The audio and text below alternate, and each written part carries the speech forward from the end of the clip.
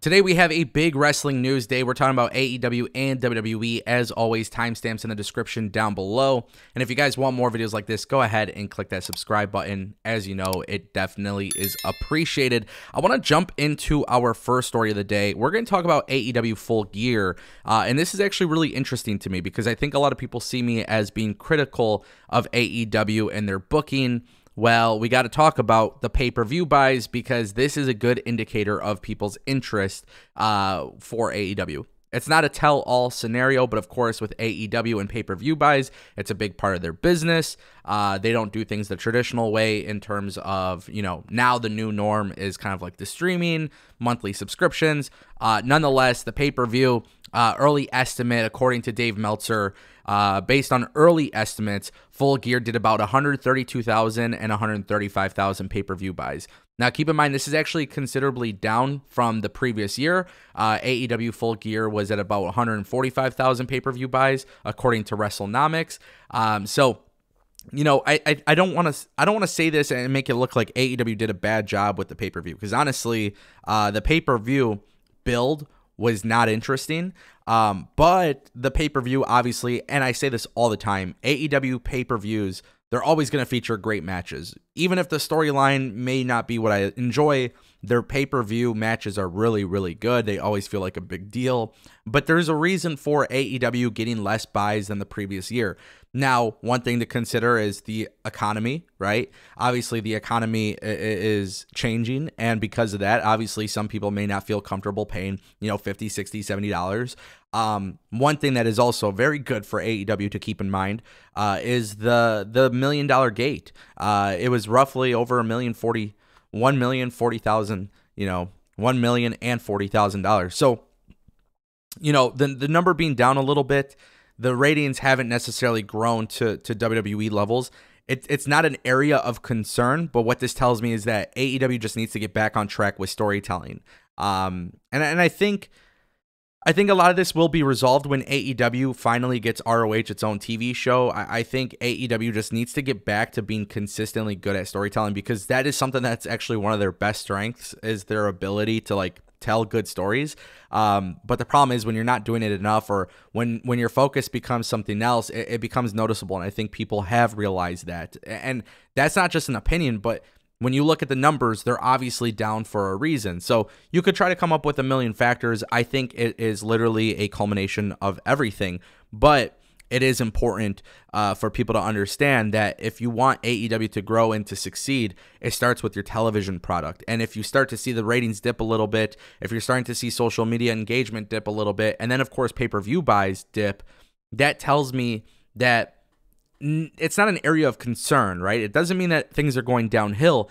It just means that the growth that people are expecting from AEW is not necessarily where it needs to be.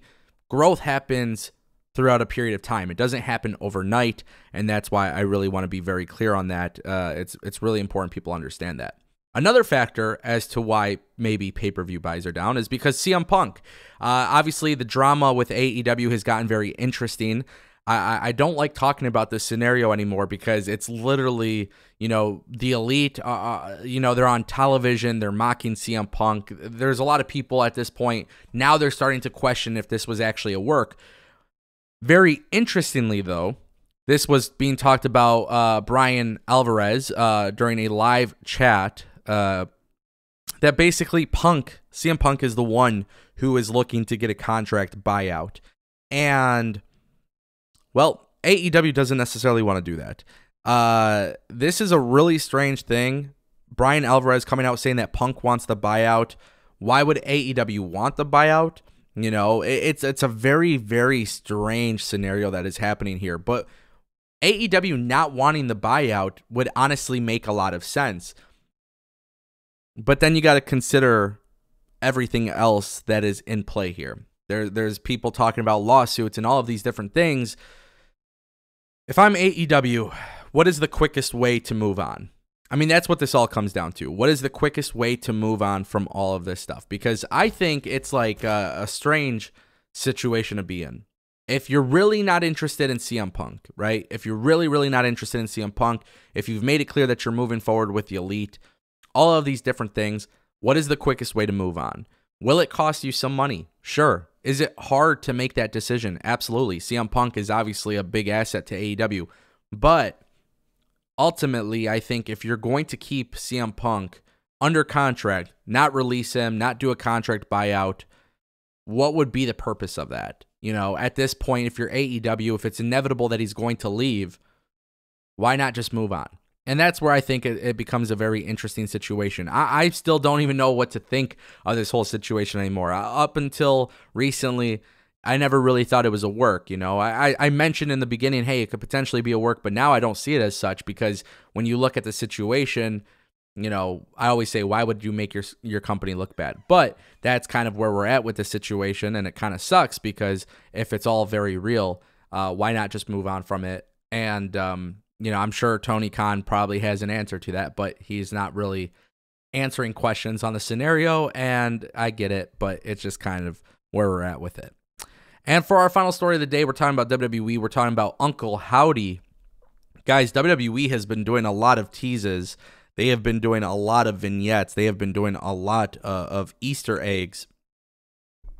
Interestingly enough, it appears that WWE is teasing the reveal of Uncle Howdy. Now, I believed when Uncle Howdy was revealed to the WWE Universe, it was Bray Wyatt. Different character, kind of like how he was the Fiend. And technically, anything is possible. But based on the vignette that we just saw on the Black Friday episode of SmackDown, it appears to me that Uncle Howdy is going to be an actual character that is not Bray Wyatt. Uh, so, a couple things that you need to know WWE is teasing something. In the vignette, there was also a female voice. That is very intriguing to me uh, WWE is teasing the coming of Uncle Howdy. When you look at Uncle Howdy, a lot of people see resemblance to Bo Dallas. A lot of people see resemblance to his father. Who is Uncle Howdy? WWE is set to reveal this. When will it happen? My best guess is that it's going to happen at Survivor Series War Games. I, I think that would be a little too soon. I would like to see WWE kind of draw this out a little bit more. But Uncle Howdy is teasing the unmasking of himself. On the screen, it shows that it's coming. They got phone numbers on the screen. When you call the phone number, it's Bray Wyatt's psychiatrist. You know, this is a very, very interesting story because Bray Wyatt is being the good guy. He doesn't want to fight. He doesn't want to fight uh, LA Knight, but here we are. Uncle Howdy is telling him he has to do it. So, what is the storyline here? Going forward after Uncle Howdy gets revealed. That's what I want to see.